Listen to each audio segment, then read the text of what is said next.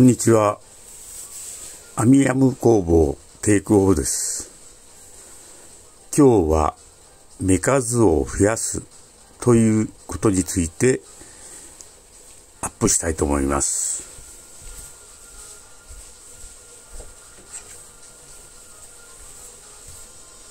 目数を増やすには普通に河津掛けで編みます。その編んだところにもう一目増やすわけです。それは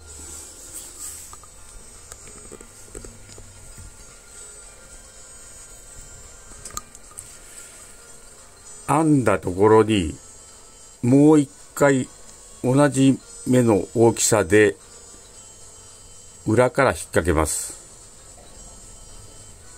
そして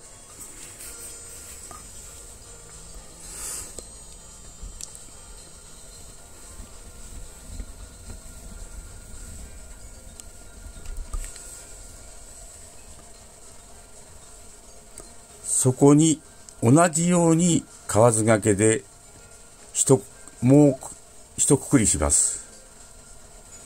そして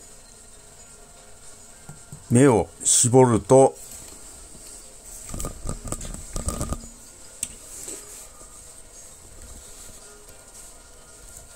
ちょっと見にくいでしょうけども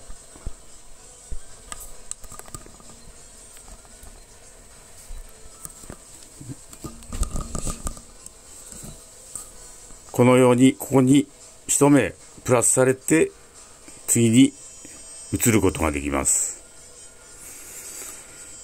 これは何を意味するかというと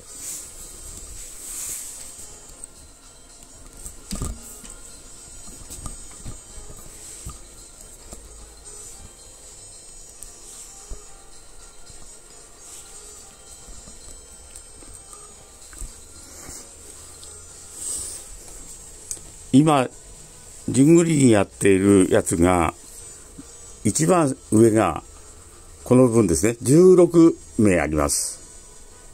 そしてそれが一周回ってくるということで横にすると 8, 8名あったのが裏表で16になってます。そして今現在これがあの4段上からこの部分から下で4目作ったやつで一周してきてます。そして、この増やし目をどこにつけるかというと、この4段目、4目から始まる、最初に2個目にこの目を作ります。というのは、すぐに作っちゃうと、このつなぎ目のところとダブルということで、より難しくなりますので、最初、一つ目、二つ目で輪っかを増やします。先ほどの写真のような格好で一目増やします。そうすると、四つごとに増やし目をするもん、しますので、往復ぐるって回ると、1、2、3、4、4目、4目増えるわけです。そうすると、16で編んでたやつが20になりますので、編みの膨らみが出ます。ちょっとそれを、えー実際編んでのを、えー写しますけども、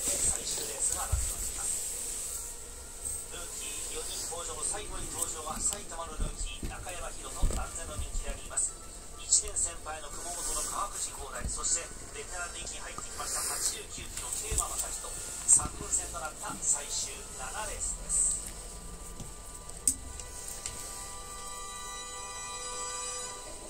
今、実際、この編み目は、ここの、ここの繋いだところから1個目、2個目で、今もうできてますけども、編んでありますけど、ここに一目、一目余分なのがわかるでしょうか？ここに、えー一目できてます。次から編んでみますので、ゆっくり編みますので、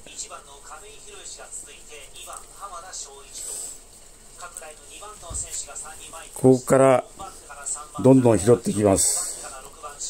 今まで通り裏から入れて、4番の川藤光大7番こう入ります。1周目の3コーナー一個3分線の中唯一二個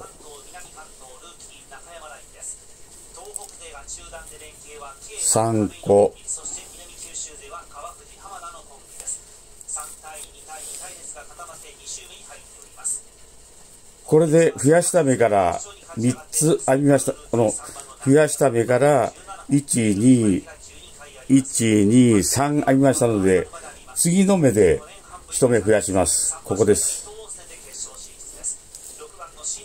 普通にかけます。そして入れて貼ります。ここで、ここにもう一つ、このように同じかけ方をします。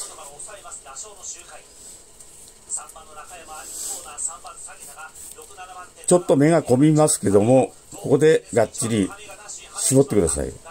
そうすると、ここに一つ目が増えます。これを一周やるわけです。そうすると、1、もう一回やりますよ。もう一つ。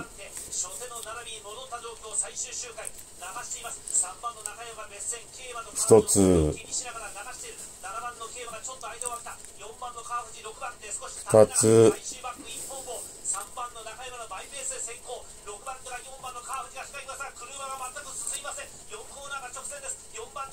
二つ、三つ、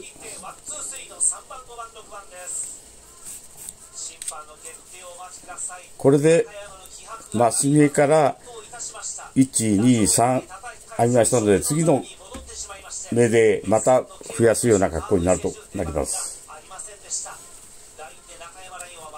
ここで一回一目作って、